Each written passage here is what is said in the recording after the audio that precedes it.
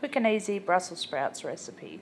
So first of all you just start with your Brussels sprouts and just cut them up into quarters and then you get some onion and just slice that up however you like. You can dice it or just slice it, it doesn't really matter, it's just however you like it. And that will go in the pan with the Brussels sprouts in a minute. So then I decided I was going to have some mushroom as well because I enjoy mushroom with onion. I think it goes well. So you just dice up your mushrooms again, dice or slice, however you like. It doesn't really matter. It's a bit like a stir fry, so you can just sort of add it in however you like.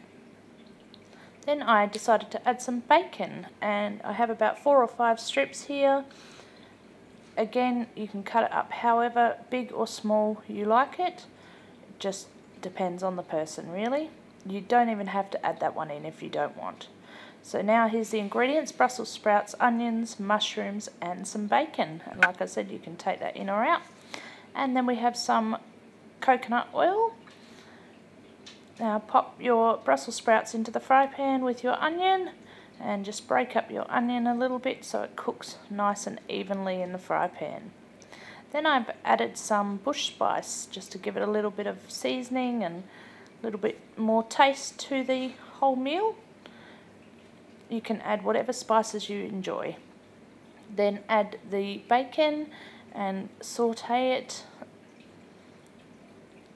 Then I've added some soy sauce just to give it a little bit more flavour, but that's completely up to you. And then I've just added the mushrooms.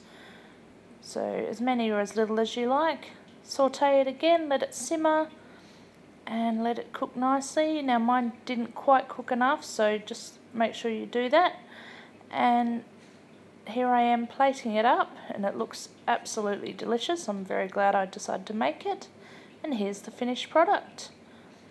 So it's a healthy quick meal idea and I just decided to add some coconut flakes to the top.